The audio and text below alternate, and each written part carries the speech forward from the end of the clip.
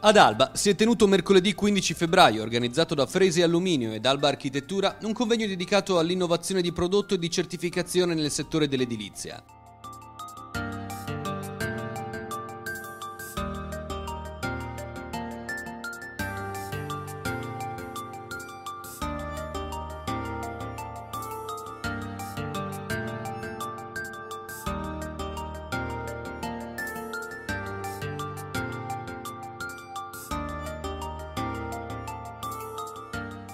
L'appuntamento è stato organizzato grazie allo sponsor Sertec, serramenti in alluminio dei Fratelli Ferro, azienda che in pochi anni è stata in grado di svilupparsi e configurarsi come una delle più innovative del settore.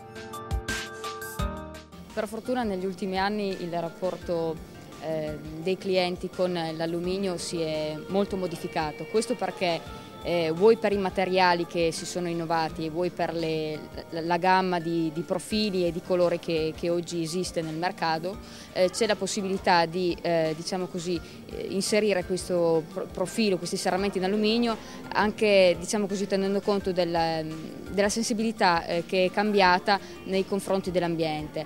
Cioè, eh, l'alluminio oggi può essere un prodotto ecosostenibile che mh, ottenuto da materiale riciclato dà un valore raggiunto la casa anche in termini proprio di, di ambiente. Eh, sappiamo che eh, l'alluminio ha eh, grandissime gamme di colori, eh, ha la possibilità di essere realizzato mh, diciamo così, con eh, l'effetto legno, quindi si sostituisce eh, in tutto e per tutto al legno. Il legno continua ad esistere, ma è bene tener conto del fatto che l'alluminio è un prodotto che eh, non richiede manutenzione. Eh, naturalmente appunto con la possibilità di avere anche l'effetto legno, quindi in tutto e per tutto può essere sostituito al tradizionale serramento in legno.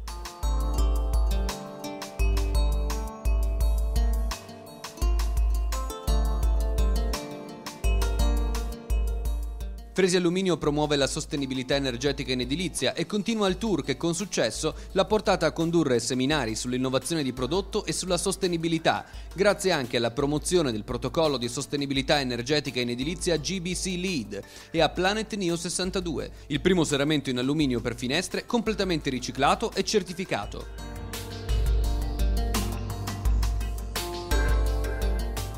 Questo prodotto non soltanto innova e promuove la sostenibilità energetica, ma è il primo prodotto in Italia ad essere compliant, cioè a contribuire all'ottenimento di maggiori punteggi nelle gare d'appalto sia sul protocollo LEED che sul protocollo Itaca. Stiamo continuando nell'iter che ha avuto inizio nel 2011, il Planet Neo 62 si sta affermando come sicuramente un serramento innovativo perché è composto da barrette di poliammide rigenerate e scocche di alluminio neociclate tutto certificato quindi con il rispetto delle prestazioni sia dal punto di vista termico che acustico.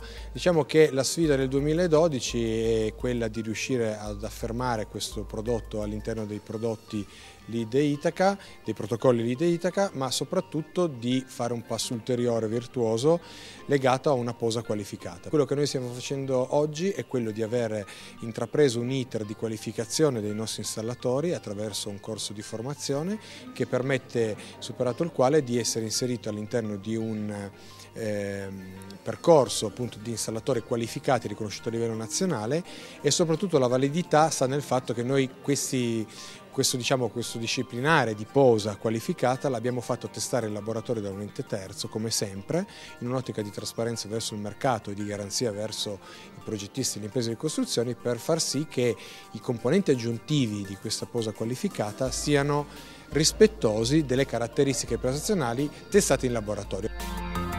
L'occasione quindi è stata proficua per Alba Architettura, numerose associazioni di professionisti del settore nell'Albese, per aumentare l'attenzione sulla sostenibilità energetica, ma anche per riflettere sul ruolo dell'architetto. Nuovi prodotti e nuove tecnologie cambiano il concetto stesso dell'architettura e inaugurano nuovi modelli di produzione e costruzione degli edifici.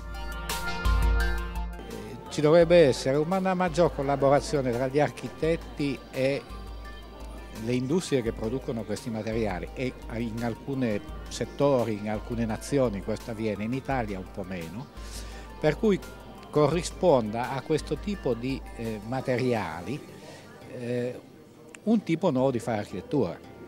Le cito un esempio proprio di questa sera. Abbiamo visto delle bellissime persiane in alluminio applicati a degli edifici, storici e non storici.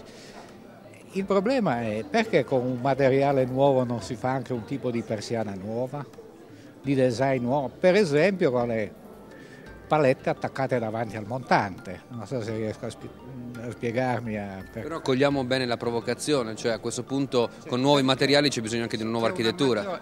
No, non c'è che c'è bisogno, si può pensare a una nuova architettura.